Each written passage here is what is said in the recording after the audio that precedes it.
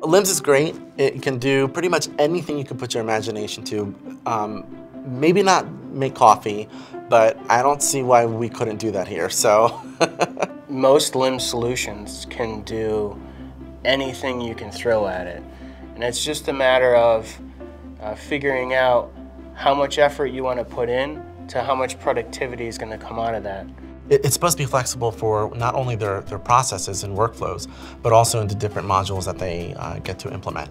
Some of the most simple things in a LIMS solution can also be some of the most effective ways to improve productivity. The one more interesting one that I've seen was basically LIMS being connected or integrated with FedEx. With a diagnostic uh, client, they only have a certain amount of time to take samples, test them, and report back uh, to doctors' offices and hospitals. So FedEx would update within their system and they knew exactly what samples were coming to uh, their lab, so they knew what to prepare for. RFID technology is, is starting to be used in, in a lot of things. And what that allows you to do is it allows you to track and add information to each individual sample. You can have systems that will tell you what samples were received in the lab before anyone even unpacks the sample. One of the ways that's quite unusual is in the um, forensics field. So there you're out on the field, right? So, so there's a crime, you have to make sure that you're taking evidence, you're documenting it. So how do we do that with a LIMS system?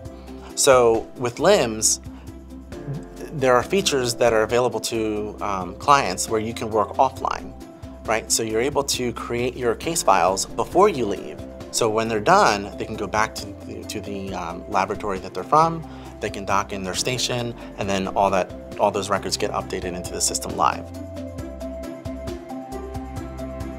Clients sometimes, um, they don't know what they want.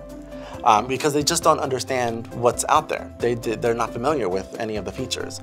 So for us as consultants, it's, it's very important for us to, to explain, to educate, and to make sure that they understand, hey, these are other options that we didn't think about. Instrument integration is one of those things to where the customer knows that, that the LIMS can integrate with the instrument, but they don't actually know exactly how to do that. And they know they want that functionality, but they put it off because they also don't know how long it's going to take to do that implementation. I really haven't seen anything that you can't integrate with. Um, it's just uh, your, your imagination is what's limiting uh, what you can do.